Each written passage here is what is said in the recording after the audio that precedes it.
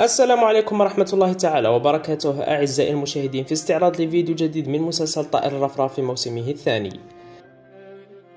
حسب الأخبار فمن بين أحداث الموسم الثاني والتي ستكون صدمة للكل هو انكشاف علاقة الخادمة سلطان مع فريد وهوية والد فيرات ابن سلطان والذي سيكون بنسبة كبيرة فريد.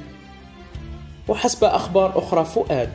لكن دون أدنى شك الاحتمال الأكبر هو فريد وسيحدث هذا بعد أن تتصلح الأوضاع شيئا فشيء بين عائلة كورهان وكاظم وبعد أن يقرر فريد الزواج من سيران مجددا خاصة بعد أن يعلم الكل بحملها لكن سلطان ستكتشف الحقائق قبل هذا وستصدم الجميع.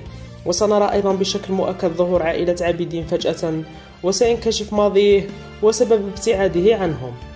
وسنرى أيضا تحول جذري في شخصية سونا وستكون أكثر قوة. كما سنرى أيضا تغير كاظم للأحسن في معاملته لصهيران وسونا وحتى أسماء. والأخيرة يبدو أن نهايتها ستكون بسبب مرضها الذي رأيناه في أولى حلقات الموسم الأول ثم تغاضى عنه الكاتب فجأة. إلى هنا نصل للنهاية. لا تنسوا دعمنا بلايك اشتراك وتفعيل الجرس ليصلكم الجديد والمزيد دوما. سلام!